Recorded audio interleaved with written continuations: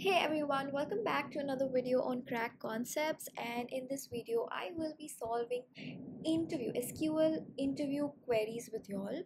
I'm going to solve five queries and each query will come in one single video. So in this video I will solve one query. So these are interview questions and you can expect something similar to be asked in your interview as well.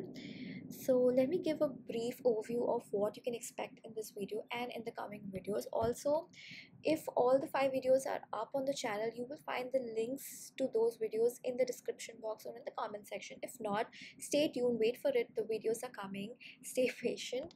So yeah uh, let me give you an overview. So this is the entity diagram.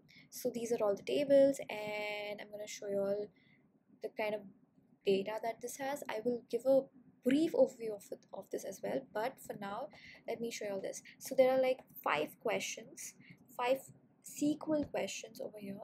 And in each video I will be solving one question. So in this video I will be solving this query. That's what you can expect in all the five videos. So stay tuned. And with this I'm going to start with the first query. So let me show you all the tables. So there are total five tables account balance account type account type underscore d account name and names. Now as you can see there are lines between them. So what this means is these two tables are connected via pk pk means primary key. And these two are also connected. These two are connected and these two are connected and these two are connected. But these two aren't connected these two aren't connected these two aren't connected because there are no lines between them and if you want to see how they are connected always remember uh, always remember that pk or fk will be written in brackets. So pk means primary key and fk means foreign key. So between these two tables what are the common table or common columns that you can find? So this is account underscore i and account underscore i. So these two are common between the two. And between these two between these two what you can find? Account underscore i account underscore i again is common between these two and between these two account underscore type underscore c is common between the two. Between these two um, first underscore name underscore i and last underscore name underscore i and name underscore i. These are common. So also remember that suppose one is a foreign key and the other is primary key. It does not necessarily mean they will have the same names. They can have different names as well. Between these two account underscore i is common.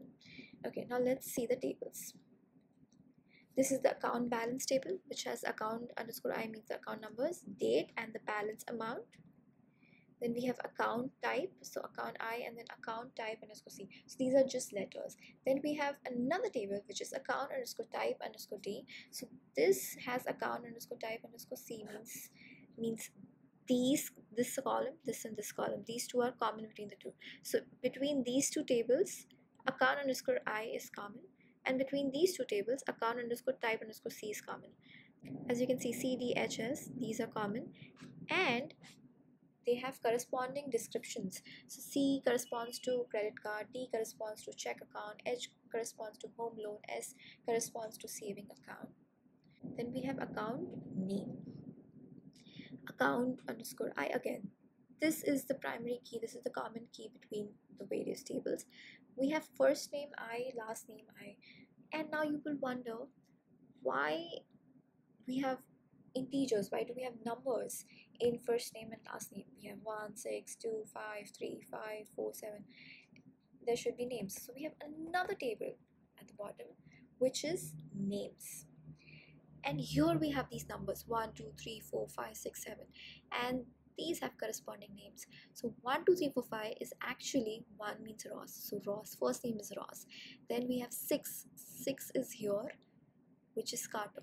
So 1 2 3 4 5 account number 1 2 3 4 5 the name for account number 1 2 3 4 5 is i mean the account holder is ross carter. Okay. So 1 6 ross carter. This is how the tables are interconnected okay so it's little complicated and the questions are also complicated and hence there's a lot of learning involved in these five videos that are going to come so stay tuned for it and in this video obviously i'm going to solve the first question the table tables are quite complicated they are interconnected and you will understand a lot about SQL queries and how to solve them. So do not miss these five videos. I will insist on that. So let's begin with the first question, which is write the SQL statement to show the most recent balance for each account. Our first question is write the SQL statement to show the most recent balance BALN underscore AMT for each account ACCT underscore I. Our two major columns are balance amount and account underscore I. So our first job is to find that in this entity diagram or if you have tables we have to find these two columns in the tables and then try to find the relation between these two columns. As you can see balance amount is here and account is also here. Good for us because both the columns are in the same table so it's going to get easier for us to write the query. Now let's go on to the SQL editor and write a query. This is our table account balance and these are the three columns account underscore I, the account numbers, the dates and the balance amount. We need to find the most recent balance. Okay, when we say most recent, it means we have to take in account the dates because we have to see how recent it is. So we need to use date and we need to find the most recent balance we need to find the balance amount for the most recent month for each account had the question been find the most recent balance just that much we could have just used max date and gotten the answer. But that's not the case. We need to find the recent balance for each account which means we need to group our output and whenever we need to group our output, there are just a couple of options that we can use. One is by using group by, the other is by using partitions. And in this case, we're going to use partitions. So let's go ahead and you will get a better idea about the about writing this query. Okay, so I'm going to write rank function. And if you do not know how to write rank functions, I have a video on that as well. I will make sure to link it in the description box trust me it's a very good video where you can understand all variants of rank function easily. Go watch it. And even if you already know rank functions it's good to watch it as a refresher. Okay so select star comma rank over partition. Okay. And what am I going to partition by the account numbers. Why? Because we need the output for each account. We need to partition it by each account. Hence, I'm going to write over here partition by ECCTI. Okay. And then I, I also need to order it. Why? Because my output needs most recent balances. Most recent date comes into picture. I need to order it by date. And since it needs to be in the most recent manner I have to use DSC and I'm not gonna write date where it's actually date underscore I correct. And I'm gonna give it an alias it's gonna be this. Okay now let's just run it I did not mention the name of the table from account balance. Run it. Yeah. Here is the output. Now, as you can see the output, this is now the final output. 1, 2, 3, 4, 5. And then the data is over here, the balance and the rank over here. 1, 2, 3, and this is the table by the way. And we only have two accounts which are repeated okay? 99824 is repeated twice and two different dates are over there and two different balance amounts are also there.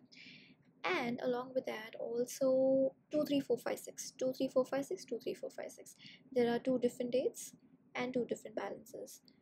Rest all are just written once. So that's definitely going to come in the output.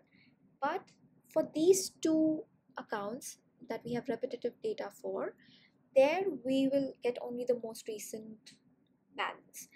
okay for this for these two accounts only we have ranks at as 2 also. For the rest of them it's 1 so for 2 3 4 5 6 2 3 4 5 6 there are two records for 2 3 4 5 6 31st december 10 december. And which is since we ordered ordered it by date okay 31st december and 10th jan. This is going to be the first one because we are ordering it in descending order. So this will be 1 this will be 2 and this is this is what uh, came also as our rank 1 and 2 similarly for 99824 there are two records 31st December 2022 and 11th January 2020 uh, it's in the descending order. So this will be 1 this will be 2 as you can see the ranks that we got were 1 and 2 so our output is correct. Now we just need the most recent one. So out of 1 and 2 we need 1 we just need all the ones. That's going to be the output. What I'm going to do is select star from and I'm gonna write where